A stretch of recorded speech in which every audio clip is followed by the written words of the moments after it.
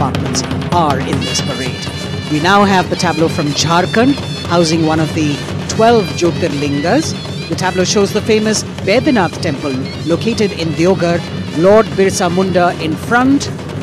Birsa Munda was a social reformer and a freedom fighter who revolted against the British, was arrested and hanged, and even today tribals consider as the god of the earth.